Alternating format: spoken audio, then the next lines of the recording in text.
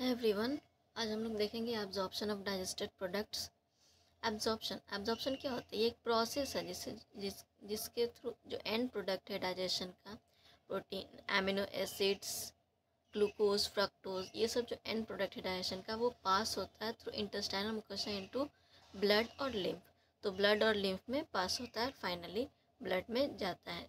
तो ये जो प्रोसेस है, इसको हम लोग एब्जॉर्प्शन बोलते हैं. तो इसमें तो कैसे ट्रांसपोर्ट होता है? तो तीन मेकानिज़्म है, पैसिव, एक्टिव और फैसिलेटेड ट्रांसपोर्ट मेकानिज़्म है, तीनों से ये होता है। तो किसके कौन कौन सा चीज़ किसके थ्रू, किस ट्रांसपोर्ट के थ्रू होता है वो हम लोग देखेंगे। तो इसमें थोड़ा कन्फ्यूज़न होता है, ध्यान से देखेंगे। स्मॉल अमाउंट्स स्मॉल अमाउंट मतलब थोड़ा सा स्मॉल अमाउंट्स मोनोसेक्राइड जैसे ग्लूकोज और amino acid and some electrolytes like chloride ions generally absorb by simple diffusion तो सिंपल डिफ्यूज़न से small amount of glucose amino acid and some electrolytes like chloride ions तो इसमें simple diffusion simple diffusion में क्या होता है? जो भी सब्सटेंस है, वो लोअर कंसनट्रेशन से हायर कंसनट्रेशन की तरफ़ मूव करता है। इसमें कोई एनर्जी नहीं लगता है। It only depends upon concentration gradient मतलब जहाँ पे हायर होगा, जहाँ पे हायर कंसनट्रेशन होगा, वहाँ से वो लोअर कंसनट्रेशन की तरफ़ मूव करेगा। The substance move from higher concentration to lower concentration. Depends upon concentration gradient. तो passage of the substances into blood depends upon concentration gradient लेकिन कुछ सब्सटेंस जैसे ग्लूकोज और एमिनो एसिड वो एब्जॉर्ब होता है थ्रू कैरियर प्रोटीन्स तो जहाँ पे कैरियर प्रोटीन होगा मतलब वहाँ पे फैसिलेटेड ट्रांसपोर्ट मैकेनिज्म आएगा। ठीक है? Now transport of water depends of upon osmotic gradient तो ऑस्मोटिक ग्रेडियंट वाटर का ट्रांसपोर्ट ऑस्मोटिक ग्रेडियंट्स के थ्रू होता है ऑस्मोसिस से होता है। और एक्टिव ट्रांसपोर्ट में अगेंस्ट कॉन्सेंट्रेशन ग्रेडियंट होता है। एक्टिव अगेंस्ट कॉन्सेंट्रेशन ग्रेडियंट मतलब जहाँ पे लो होगा, वहाँ से हायर की तरफ़ जाएगा। तो लोअर कंसनट्रेशन से हायर कंसनट्रेशन की तरफ़ जाएगा तो यहाँ पे एनर्जी लगेगा एटीपी यूज़ होगा, ठीक है? और सिंपल में हम लोग क्या देखे थे? हायर कंसनट्रेशन से लोअर कंसनट्रेशन ठीक है? तो active transport occurs against concentration gradient and ions requires energy various nutrients like amino acids monosaccharides like glucose and electrolytes like sodium and are absorb into blood by this mechanism तो amino acid glucose और sodium and ये active transport से absorb होता है। तो हम लोग देखें कि ग्लूकोज में तीनों सिंपल डिफ्यूजन से भी ग्लूकोज एब्जॉर्ब हो रहा है फैसिलिटेड ट्रांसपोर्ट से भी और एक्टिव ट्रांसपोर्ट से भी। नाउ फैटी एसिड्स और ग्लिसरॉल जो होते हैं, वो इनसॉलेबल होते हैं. They can not be absorb into blood blood में डायरेक्टली एब्जॉर्ब नहीं हो पाते हैं. तो पहले उनको हम छोटे छोटे टुकड़ों में तोड़ते हैं. ठीक है? जिसको मिसिल्स बोलते हैं मिसिल्स और फिर ये मिसल्स जो होता है, वो इंटेस्टाइनल मिकोसा में मूव कर सकता है. फिर उसको रिफॉर्म किया जाता है. उसके ऊपर प्रोटीन जो है ना प्रोटीन से उसको कवर कर जा, किया जाता है. स्मॉल प्रोटीन कोटेड और फिर जब प्रोटीन कोटिंग हो जाता है मीसल्स पर, तब इसको काइलोमाइक्रोन्स बोलते हैं। तो काइलोमाइक्रोन्स क्या है? Small protein coated fat globules जो फैट ग्लोब्यूल्स था, वो फैट जो स्मॉल ड्रॉपलेट्स था फैट का फैट ग्लोब्यूल्स उसको मीसल्स बोले। और मीसल्स के ऊपर प्रोटीन का कोटिंग हुआ तो अब ये काइलोमाइक्रोन्स बन गया।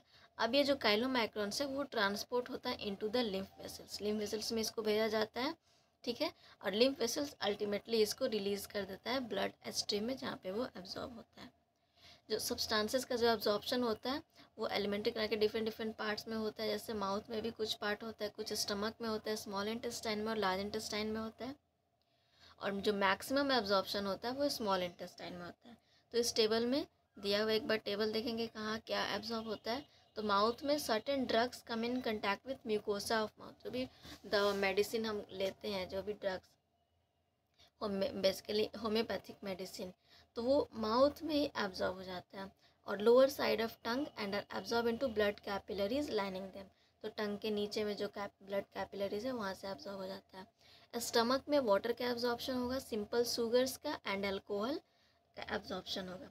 स्मॉल इंटेस्टाइन प्रिंसिपल ऑर्गन है एब्जॉर्प्शन ऑफ़ न्यूट्रिएंट्स के लिए and digestion is completed here and the final product of digestion क्या है? Glucose fructose fatty acids glycerol and amino acids are absorb through mucosa into the blood stream and lymph ठीक है? और large intestine में water का absorption होगा, कुछ minerals और ड्रग्स का होगा। जो एब्जॉर्ब सब्सटेंस है फाइनली कहाँ पहुँचेगा? टिश्यूज़ में, जहाँ पे वो यूटिलाइज होगा फॉर फर्दर एक्टिविटीज़ के लिए। तो ये जो जो प्रोसेस है टिश्यू में उसका यूटिलाइजेशन तो इसको हम लोग एसिमिलेशन बोलते हैं। ना जो डाइजेस्टिव वेस्ट है, वो सॉलिडिफाई होता है कॉरेंट फीसेज में रेक्टम में वो, और वहाँ पे वो इनिशिएट करता है neural reflex for the desire for its removal ठीक है? और जो फीसिस का जो इजेशन होता है आउटसाइड थ्रू एनल ओपनिंग इस प्रोसेस को हम लोग डिफिकेशन बोलते हैं और ये एक वॉल्ट्री प्रोसेस है and is carried out by mass peristaltic movement अब डिजॉर्डर्स देखेंगे डिजॉर्डर्स ऑफ़ डाइजेस्टिव सिस्टम तो इंटेस्टाइनल ट्रैक का इन्फ्लेमेशन है, ये कॉमन प्रॉब्लम है ड्यू टू बैक्टीरियल और वायरल इन्फेक्शंस तो बैक्टीरिया से भी हो सकता है वायरस से भी हो सकता है और the infection are also cause by parasites of intestine तो इंटेस्टाइन के कुछ पैरासाइट्स है टेप वम राउंड वम थ्रेड वम हुक वम पिन वम तो ये सब की वजह से भी इन्फेक्शन हो सकता है। फ़र्स्ट हम लोग, जो प्रॉब्लम है जॉन्डिस जॉन्डिस में लीवर अफेक्ट होता है। तो लीवर अफेक्टेड होता है, लीवर के साथ साथ स्किन और आईज येलो हो जाते हैं due to deposit of bile pigments vomiting vomiting में क्या होता है? स्टमक का जो भी कंटेंट है वो माउथ के थ्रू बाहर आता है। तो ejection of stomach content through mouth तो ये एक तरह का रिफ्लेक्स एक्शन है, जो कि मेड्यूला में वोमिट सेंटर होता है, वहाँ से ये कंट्रोल होता है।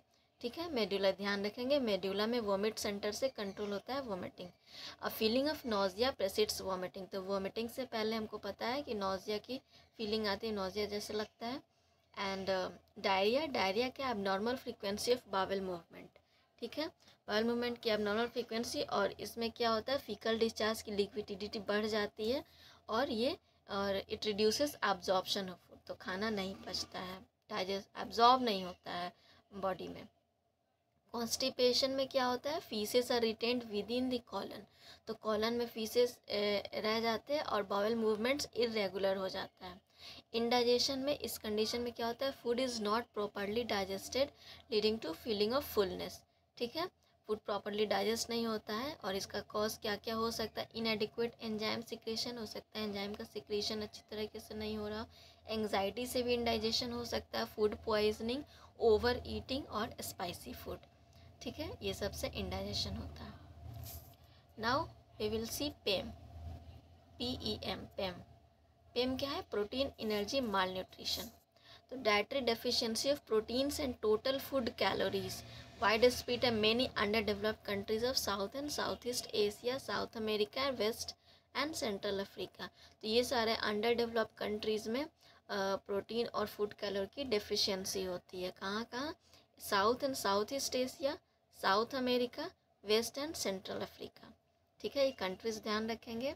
और ये जो प्रोटीन एनर्जी माल न्यूट्रिशन है, ये अफेक्ट करता है large section of population during drought famine and political turmoil तो ये सब जो एडवर्स सिचुएशन में ये लार्ज सेक्शन ऑफ़ पॉपुलेशन को अफेक्ट करता है। जैसे कि बांग्लादेश में हुआ था एक बार during the liberation of war and Ethiopia में during severe doubt in mid eighties mid eighties में ड्राउट हुआ था इथियोपिया में तो उस टाइम में प्रोटीन एनर्जी माल न्यूट्रिशन हुआ था।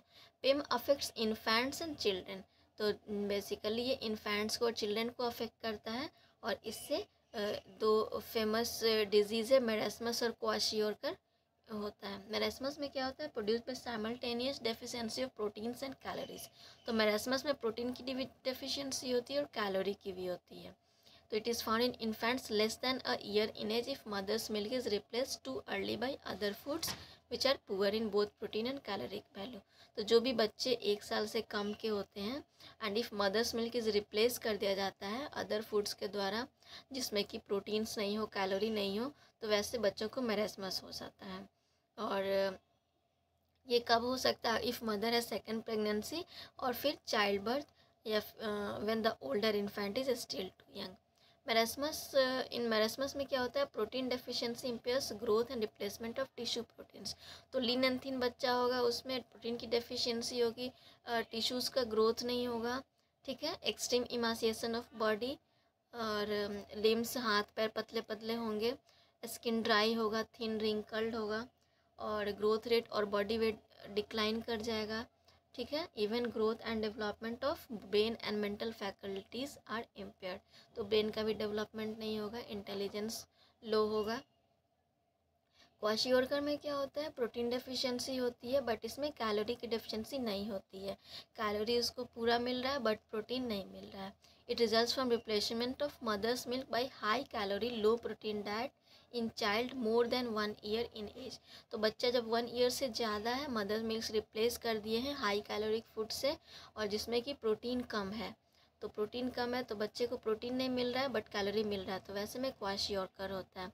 Like marasmus kwashiorkor shows wasting of muscles तो इसमें भी मसल्स की वेस्टिंग होगी लिम्स पतले होंगे and failure of growth and brain development तो इसमें भी ग्रोथ नहीं होगा और ब्रेन का डेवलपमेंट नहीं होगा।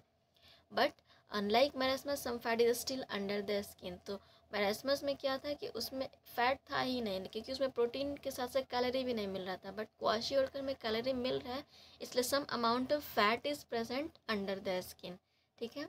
और इससे कि इडेमा भी हो सकता है और कुछ बॉडी पार्ट्स सोलन दिखेंगे। तो यहाँ पे हमारा digestion and absorption chapter complete हुआ।